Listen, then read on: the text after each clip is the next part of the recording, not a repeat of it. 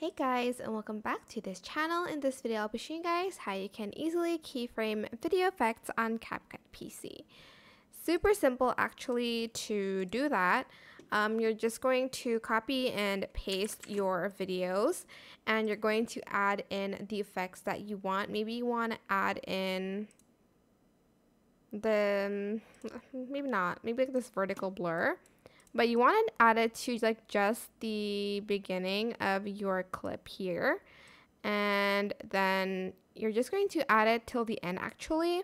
And you're going to um, select both the um, effect and the clip right click create compound clip. You can also add it to like at the beginning of your clip but I'm just adding it where I want it to start. Um Oh, actually, I might add it like here a little bit and select both. And then here, I'll add in a keyframe and turn down the opacity to zero first. And then like here, for instance, I'm going to turn it up to 100. And then here, I'm going to turn it down to zero again to keyframe the video effects essentially. So you actually you're just keyframing a video, but the effects are already on it.